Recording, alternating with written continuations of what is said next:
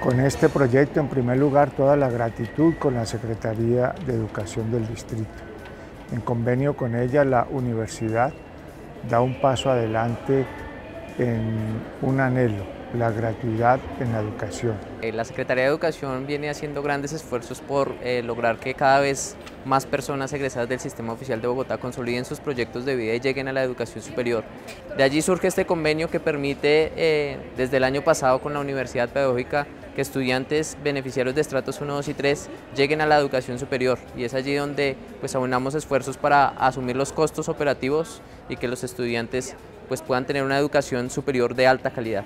Digamos que hay una apuesta muy importante aquí en la Universidad Pedagógica y es que se seleccionan a las mejores personas, es decir, las personas que en su prueba de potencialidad pedagógica fueron los mejores con el fin de que tengan una real oportunidad y, estamos premiando pues la excelencia y la alta calidad con la Universidad Pedagógica. En esta oportunidad son 80 estudiantes que tienen la posibilidad de cursar toda su carrera en la Universidad Pedagógica Nacional sin pagar matrícula.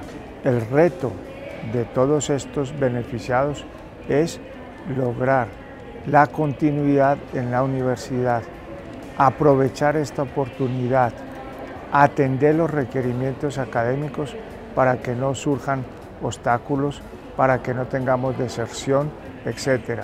En eso hemos también fortalecido el grupo de orientación y acompañamiento a los estudiantes para que podamos garantizar que oportunidades como esta se culminen de una manera feliz.